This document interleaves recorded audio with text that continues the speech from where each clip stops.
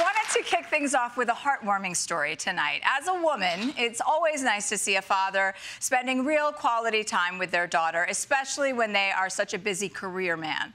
Kim Jong un, dictator and family man, brought his daughter and wife to the military parade, which featured more intercontinental ballistic missiles than ever before. Believed to be called Jue, maybe nine or ten years old, this is the fifth public event for Kim's daughter since November, the only one of his children to be shown in public, fueling speculation he may be grooming her for succession. At elementary school age, she already outranks a room full of senior military officers.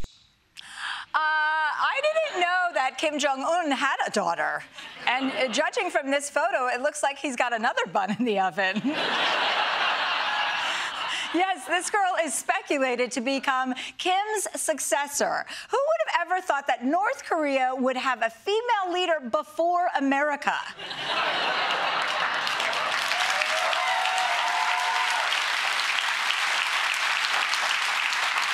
and she's a minority.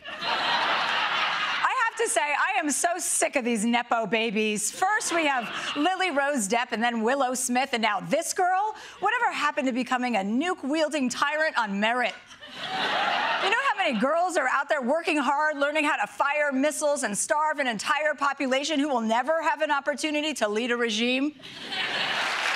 Also, to all the men out there who think fedoras are cute, I want you to know that this is what you look like.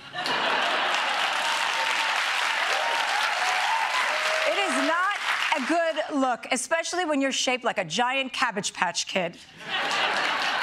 Let's move on to the man who invented Cabbage Patch Kids, George Santos. Earlier this week, he was roasted at the State of the Union by Utah Senator and Silver Fox Mitt Romney. And apparently, Georgie didn't appreciate it.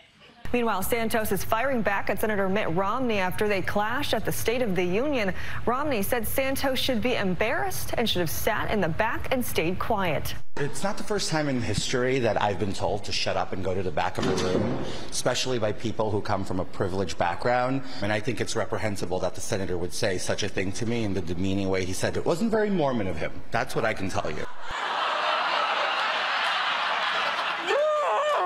First of all, you can't complain about people coming from a privileged background when you dress like young Sheldon.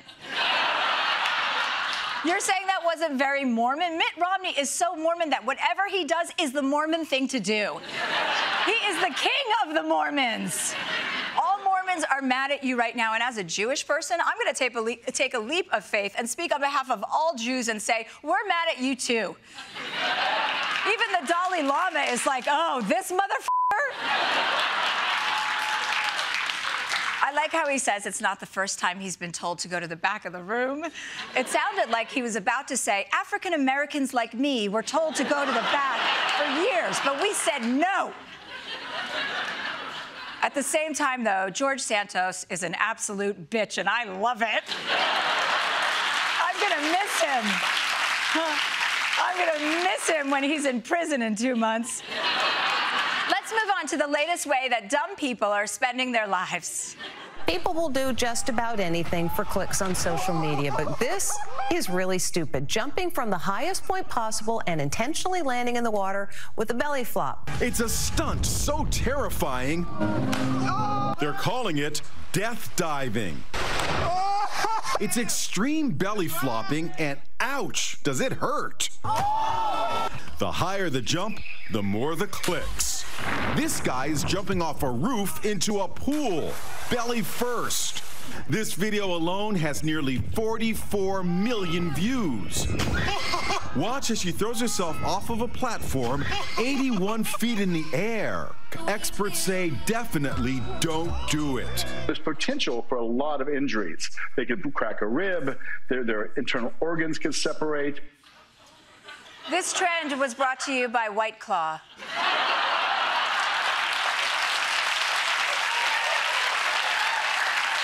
The preferred drink for white people who want to do stupid shit. And by the way, I don't want to nitpick the way people are trying to kill themselves, but it's not really a belly flop unless you spread your arms out like this. I see you guys tucking in at the last second. Do you want to separate your internal organs or don't you? I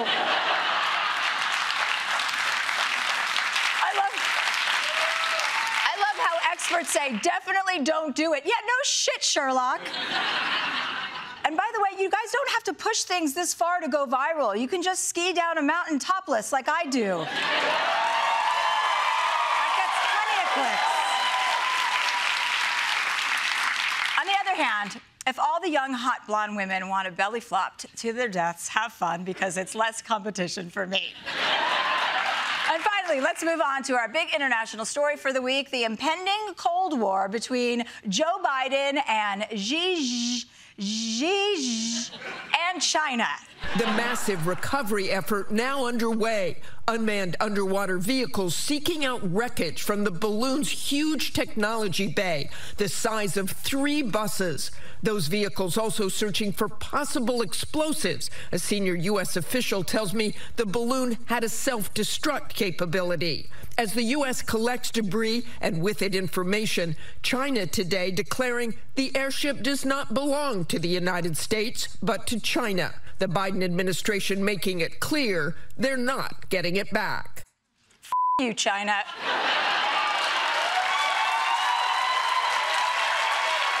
You sent the balloon over here to spy on us. We found it, and now it's ours. You don't get to demand that we return it, just like the guy who attacked Nancy Pelosi's husband doesn't get his hammer back. And I don't know about you guys, but I'm not scared about the supposed explosive self destructing capability on a balloon. All balloons have a self destructing capability. It's called deflating. Also, it doesn't belong to us. I'm sorry, China, but that's confusing, okay? Usually, when you release things, it's for the entire world to enjoy, like COVID.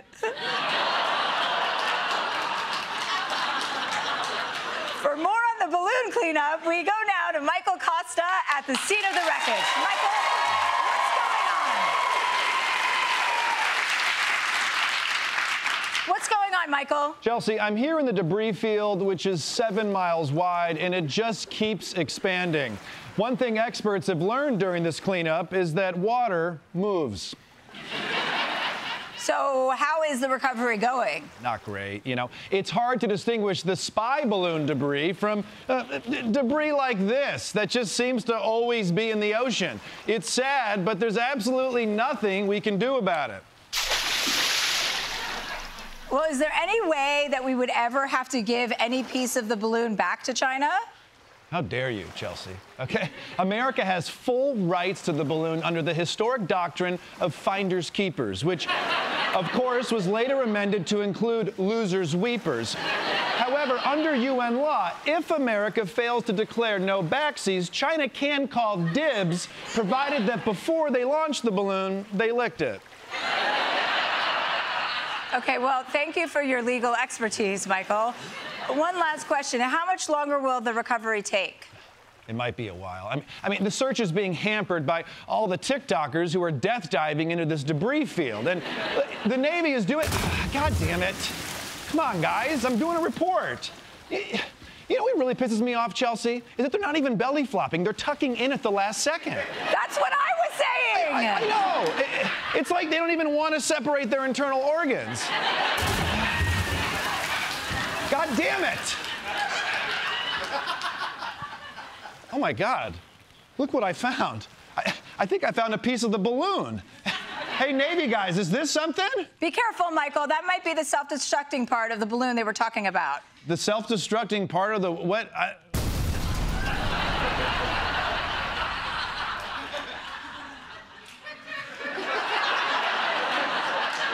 Well, I'm sure he'll be okay.